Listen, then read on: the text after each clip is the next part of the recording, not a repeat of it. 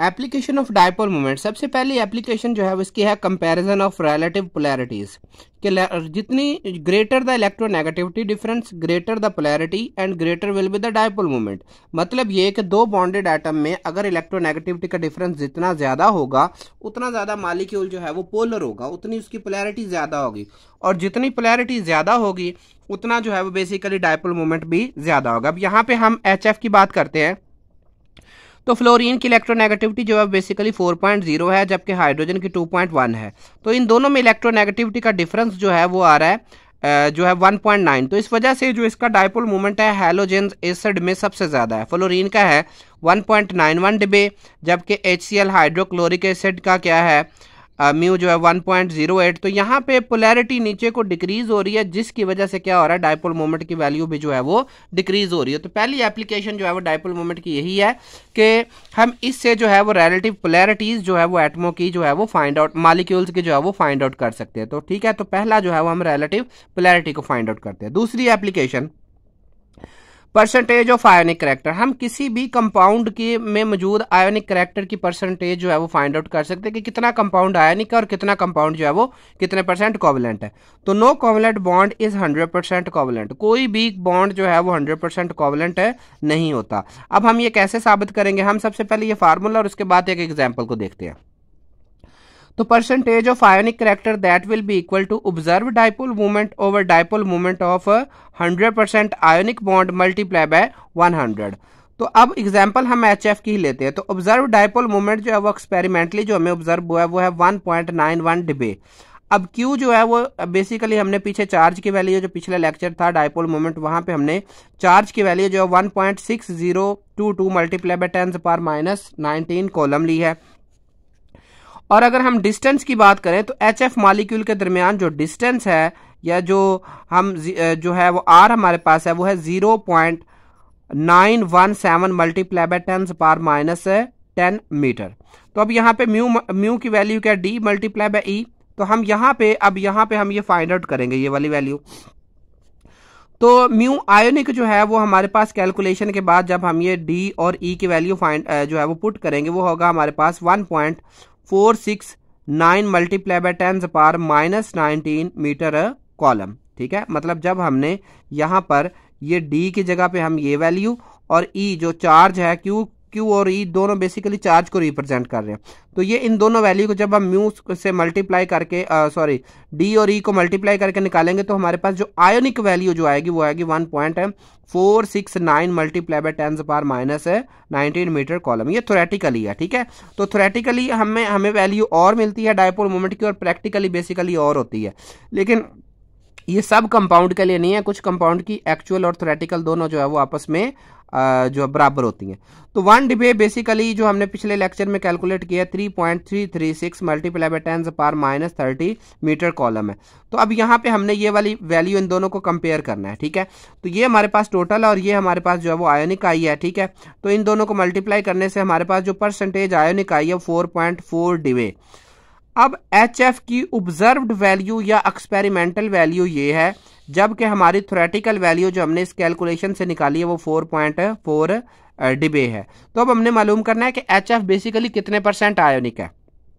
तो percentage ionic character जो होगा वो वही value observe dipole moment of dipole moment of hundred percent ionic bond कि एच का बॉन्ड अगर हम समझ ये कंसीडर करें ना कि ये हंड्रेड परसेंट आयनिक है तो इसकी वैल्यू आनी चाहिए थी फोर पॉइंट फोर डिबे लेकिन इसकी तो हमें आ रही है one point nine one Debye तो हम यहाँ पे जब पुट करेंगे तो हमारे पास जवाब आएगा forty three point two percent तो एच एफ़ जो है वो basically forty three point two percent ionic है और fifty six point eight percent जो है वो कोविलेंट है. क्योंकि यहाँ पे आयोनिक और कोविलेंट करेक्टर में ज़्यादा करेक्टर कोविलेंट है तो इसलिए एच एफ़ का मॉलिक्यूल जो है वो कोविलेंट कंसीडर होगा. तो परसेंटेज आयोनिक करेक्टर से हम जो है वो मालिक्यूल की ये भी वैल्यू मालूम कर सकते हैं कि वो जो है वो आयोनिक है कि वो कोविलेंट है. अब नेक्स्ट एप्लीकेशन है शेप्स ऑफ़ मॉलिक्यूल तो डायपोल मोमेंट बेसिकली जो है, ये एक वेक्टर क्वांटिटी है। तो इसका मतलब है every bond has its own dipole moment कि हर बॉन्ड का जो है, वो अपना ही एक डायपोल मोमेंट होगा। तो net result of dipole moment give info of the shape तो सबसे पहले हम ट्राइटोमिक मॉलिक्यूल लेते हैं। ट्राइटोमिक मॉलिक्यूल दो किस्म के होते हैं। एक होते हैं लीनियर जैसे कि CO2 अब CO2 में सेंट्रल एटम जो है यहाँ पे कार्बन इसके दोनों जन्म डबल बॉन्ड से ऑक्सीजन है। अब ऑक्सीजन की बेशक इलेक्ट्रोनेगेटिविटी ज़्यादा है। इधर भी ऑक्सीजन है, इधर भी ऑक्सीजन तो ये जो इलेक्ट्रॉन के पेयर्स है, जिस पावर से ये ऑक्सीजन अपनी तरफ़ अट्रैक्ट कर रहा है, उसी पावर से ये वाला ऑक्सीजन भी अपनी तरफ़ अट्रैक्ट कर रहा है। तो नेट रिज़ल्ट जो होगा वो ज़ीरो होगा, क्योंकि जितनी पावर इसकी है, उतनी ही इसकी है तो दोनों तरफ़ इलेक्ट्रॉन नहीं जाएँगे, बल्कि इक्वली डिस्ट्रीब्यूट हो जाएँगे, जिसकी वजह से डायपोल मूवमेंट जो है वो लीनियर मालिक्यूल का हम जो है वो क्या कंसीडर करते हैं कि ये ज़ीरो है। अब नॉन लीनियर इसमें सबसे पहली एग्जांपल जो है वो एच की आ जाती है। अब एच का जो डायपोल मूवमेंट है, वो 1.85 डिबे है। देखिए, यहाँ पे हमें एक और कॉन्सेप्ट मिल रहा है। कि अगर तो मालिक्यूल का स्ट्रक्चर लीनियर हो तो हमें ऑब्ज़र्व करने को क्या मिलता है कि डायपोल मूवमेंट बेसिकली ज़ीरो है। यहाँ पर वाटर का डायपोल मूवमेंट जो है वो ज़ीरो नहीं आ रहा। तो इसका मतलब यह है कि वाटर का डायपोल मूवमेंट ज़ीरो नहीं आ रहा तो इसका मतलब अब वाटर का स्ट्रक्चर लीनियर है नहीं है। तो ये जो कंट्राडिक्शन है, ये मुखालफ जो है ना, ये बात प्रूफ हो रही है यहाँ पे कि वाटर का जो स्ट्रक्चर बेसिकली लीनियर है नहीं है। मतलब वाटर को हम कभी भी जो है वो लीनियर ऐसे इस तरीके से जो है वो नहीं लिखते। ठीक है? वैसे अब हम इक्वेशन में या कोई सवाल लिखते वक्त ऐसे लिख देते, लेकिन इसका मतलब हरगिज नहीं होगा कि वाटर का जो स्ट्रक्चर है वो लीनियर है। तो अब यहाँ पे क्या हो रहा है? एक तरफ़ ऑक्सीजन ज़्यादा इलेक्ट्रोनेगेटिव है, इधर भी हाइड्रोजन इधर भी हाइड्रोजन तो ऑक्सीजन ज़्यादा इलेक्ट्रोनेगेटिव होने के साथ साथ इसके पास दो लोन पेयर भी हैं, जिसकी वजह से इसकी शेप कुछ इस तरीके से बन रही है। तो H का इधर से इस ऑक्सीजन के साथ एक डायपोल मोमेंट अलग है। इस H का इस ऑक्सीजन के साथ एक डायपोल मोमेंट अलग है। तो जो नेट डायपोल मोमेंट है that will be equal to 1.85 debye इसी तरीके से सल्फ़र डाइऑक्साइड का 1.61 डिबे आ रहा है। अब आगे आ जाती है बारी टेट्रा एटॉमिक मॉलिक्यूल ऐसे मॉलिक्यूल जो चार एटमों पर मुश्तमिल होते हैं। इसमें सबसे पहली जो एग्ज़ाम्पल आ जाती है बी एफ़ थ्री की आ जाती है। अब तीनों तरफ़ इसके इलेक्ट्रोनेगेटिव एटम है।